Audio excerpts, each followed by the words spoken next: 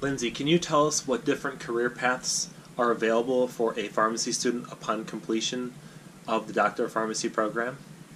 Sure, there's many options now uh, for those that are graduating from pharmacy school. Uh, you could go on to do an industry fellowship if you're looking to work for the pharmaceutical industry. Um, there's some other fellowships as well, like toxicology fellowships. Uh, you could go on to do a PGY1 general practice residency if you're looking to do a little more clinical pharmacy. Um, a lot of times, PGY1 residencies are also um, necessary to work in a hospital uh, to be a staff pharmacists because many staff pharmacists um, do some clinical work along with staffing, and that just means a, a lot of order order entry. Staff pharmacists, you know, the old staff pharmacist was in the the hospital basement, you know, putting in orders. But now um, it's usually a split clinical slash staff. So um, if you're looking to do that, you should probably go on and do a PGY1 residency. If you're interested in specializing and being even more clinical, you would go on um, to do a PGY2 residency in a, in a specialty, whether it be infectious disease, critical care, cardiology, oncology. Uh, also, you could go on to become a retail pharmacist. There's also PGY1 programs in retail if you're looking to do um, things like MTM um, in the retail setting. Uh, you could also go on to become a consultant pharmacist. Consultant pharmacists uh, work for nursing homes, um, reviewing charts and, and making medication recommendations. So, what advice would you give to a student who's undecided of what they want to do? Uh, as a student, it's a good idea to really get an array of advanced practice rotations. Um, you're going to want to not pick the easiest rotations. Uh, even if you think you want to go into one particular area, like you want, you know, you want to be a retail pharmacist, or you think you know you want to be a retail pharmacist, um, I would say don't just pick the easiest rotations because you never know um, you might change your mind. So i would say pick some challenging rotations. I would say pick an array of rotations in different um, settings so that you can know you know get a better idea of what it is you really want to do so what other things can students do while they're in pharmacy school to enhance their curriculum vitae well, it is important in pharmacy school um, to be focusing on your CV or your curriculum vitae um, because uh, pharmacy is becoming more and more competitive once you get out of school. Um, many people are doing residencies. The number of um, students going into residency programs increases each year. Um, same with PGY2 residencies, that increases each year. So you're going to need to be able to set yourself apart. Um, even if you're just going into retail, you're going to want to be able to set yourself apart um, from the next candidate. So throughout school, you should be getting involved with clubs. Um, you should be getting uh, volunteering. Um, that might be through those clubs. It's always good to hold an office, try to be an officer um, for for an organization uh, or club.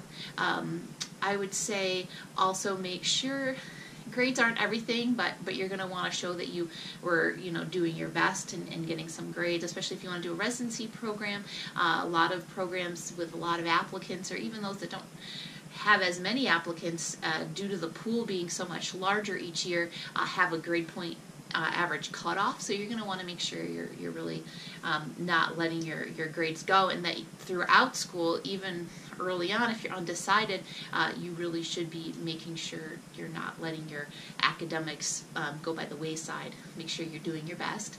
Uh, other than that, I would say if you can get a good uh, internship working in sort of a setting that you think you might want to be in uh, is a good idea you can make connections and, and meet mentors by doing that. Um, and it's also, you know, good experience to help you down down the road. Um, I'm trying to think if there's anything else that I would suggest um, that you should do throughout pharmacy school. Definitely work on your time management. That becomes a you know a major issue if you go into a residency program or even when you start your job. You know, time management is so important. So, what stands out among pharmacy residency applicants that you review?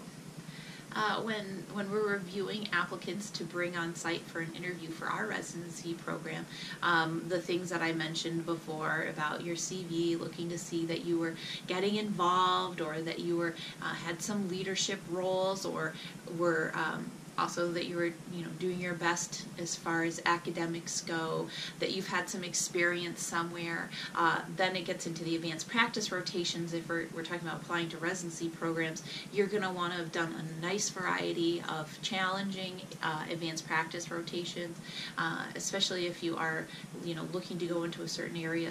You definitely need to have done some sort of um, had some sort of experience with that. Sometimes uh, at certain schools you don't have a lot of control over that, um, but but certainly try to get a variety of uh, challenging rotations. Can you tell us a little bit about the residency process? So you apply, and then there's this phase one and now phase two.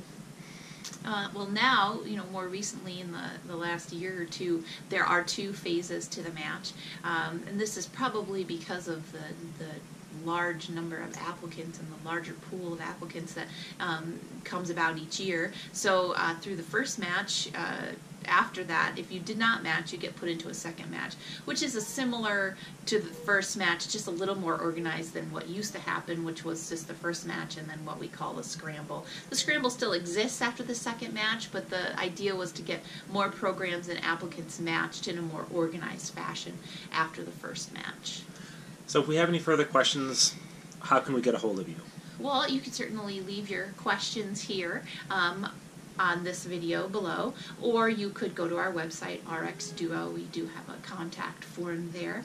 Um, we are on social media as well if you wanted to ask us um, on Instagram or something like that if you are more comfortable with that. Um, but certainly let us know if you have questions. We do um, a lot of this and have a lot of experience with it, and we're always looking to help um, people further their, their career after pharmacy school and through residencies. Thank you, Lyndsay. Thanks, Brent.